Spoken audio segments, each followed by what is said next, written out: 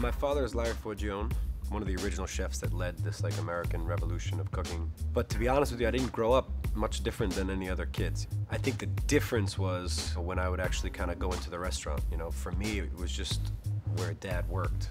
But I always had a palate for, I guess, fine food. I mean, you know, most little kids, you know, they like chicken tenders and ketchup and french fries. You know, when I went to the restaurant, they didn't have to make me like a kid's menu. Like I would sit there and eat crab cakes or soft shell crabs or asparagus in ambush and like all these like quote unquote weird things for a child to like. You know, I always liked them.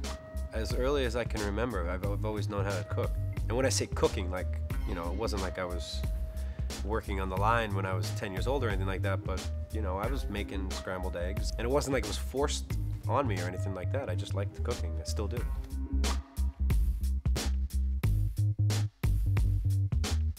So the asparagus in ambush dish is a dish that I reiterate, you know, every single spring. And the reason that I just enjoy making this dish or recreating this dish is, you know, it was a moment in my life that, that I'll never forget, you know, tasting this dish. Now that I look back at it, I was probably nine or 10 years old and I'm sitting at a giant banquet dinner by myself because my dad was in the kitchen.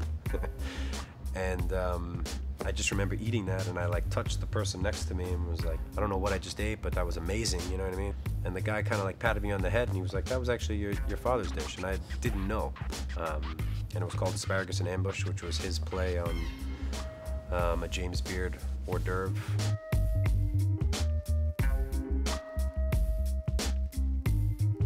Know, it shook me. Like just talking about it now, I can vividly see it like on the plate.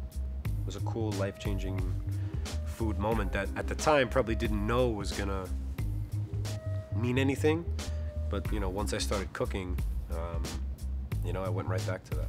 It's just one of those kind of perfect bites.